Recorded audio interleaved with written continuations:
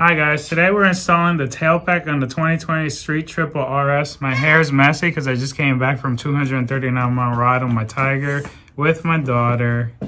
So we're gonna install the tail pack. Hi, not this daughter though. Yeah, she she doesn't know how to ride yet. that daughter over there, she's letting her father install it. All right, so first here's the tail pack. Uh, it's the one for the street for the, you know, to install so in case you um, want to carry stuff. Um, it's waterproof inside. It's pretty nice.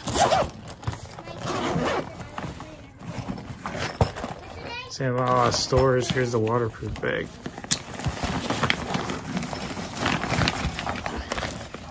A lot of storage in there. We're gonna install it uh, for my daughter real quick. So on the bottom, it's got those three screws. So what we're gonna do, there's a plate. We're gonna install it and it goes like this. So what it does is you install it and you put the three screws and then it slides on the passenger um, seat grab handle right there. And then on the back, we have a strap that slides through the back like that to hold and it clips onto these two connectors. Uh, now we're just installing the screws on it.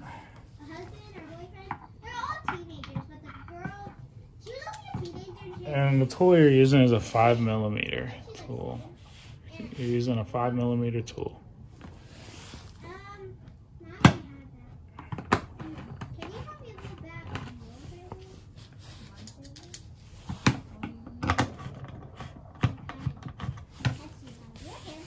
It's a pretty simple install. So, make sure it's lined up in the holes when you're screwing it down.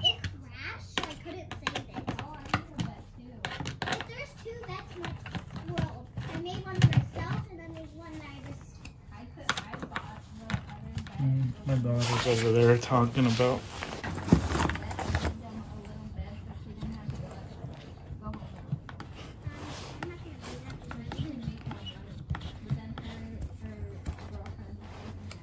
All right, so they're all installed.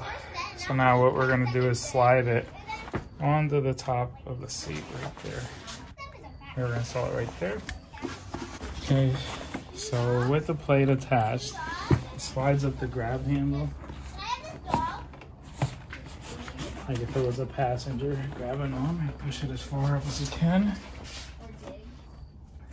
And slide the clips on.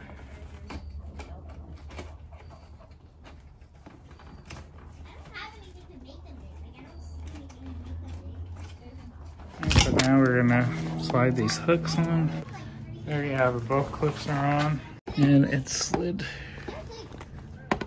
a plate right under. So there it's secure. And there you have it guys. Uh, there's the real rear tail pack for the 2020 Street Triple RS. It's not too hard. It's pretty simple, it's just three screws um, sliding in like a, a, grab handle on the passenger seat.